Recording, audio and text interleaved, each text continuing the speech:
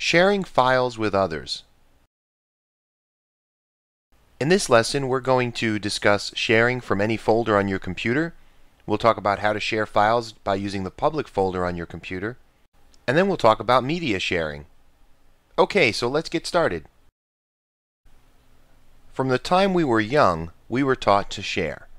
And so there may be times when you have information on your system, whether it's pictures or files or perhaps even music, and you want to share that information with others.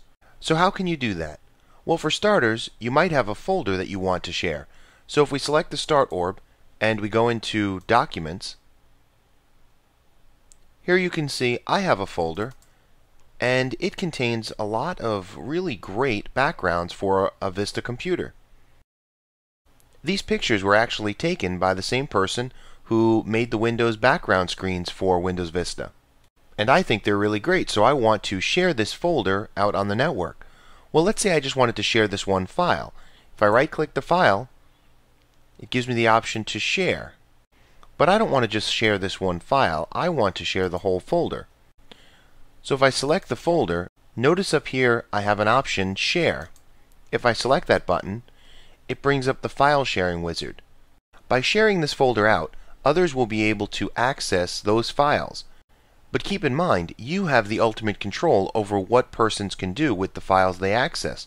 You can make it so that a person can read a file but not make any changes, or maybe they have the ability to make changes or even delete files. It's really up to you as to what level of permission you want to give.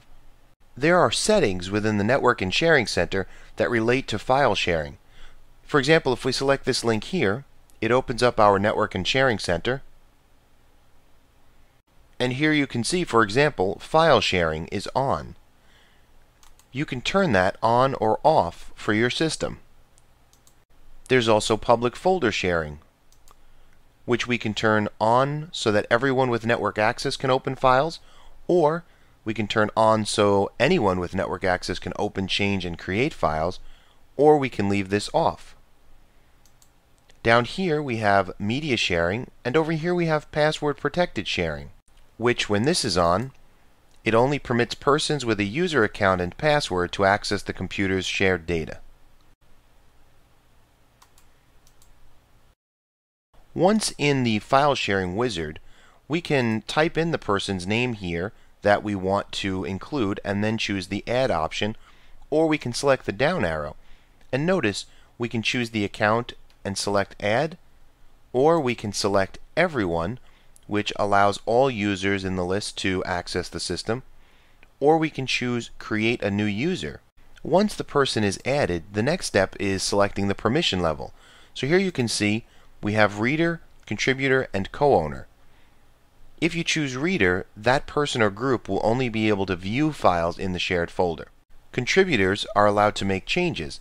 They can not only view the files, but they can create new files in the folder or make changes to the existing files and co-owners can pretty much do whatever they want within that folder. So once these options are set up, you can select the Share button, and here we see it says our folder is shared. We might want to email persons the link to the folder so that they know exactly where it's located. Now another option for sharing is to right-click the folder, select Properties, and go to the Sharing tab. From here, we can select the Share button, which brings us back to that wizard, or we can select Advanced Sharing. This brings up a dialog box, the Advanced Sharing dialog, where we can share this folder, give it a share name, and pretty much make the same exact settings that we did in the wizard, but here we can do it manually. So we can select individuals, we can give them full control, change, read, allow or deny permissions. This gives you a little bit more control over the sharing process. Now what about the public folder sharing? You'll notice here there's a folder called public on your system. That folder can be accessed by anyone who is actually able to log on to your system. So the contents of that folder are pretty much for everyone. So you only want to put things in the public folder that you want other users to be able to access. But when it comes to sharing that folder, you have to make sure the settings are turned on for that public folder to be shared. We saw them earlier, but let's take a look at them again. If we right click the little network icon and go to Network and Sharing Center, and here we can see public folder sharing is off. There are two options to turning this on, and some of the other settings affected as well.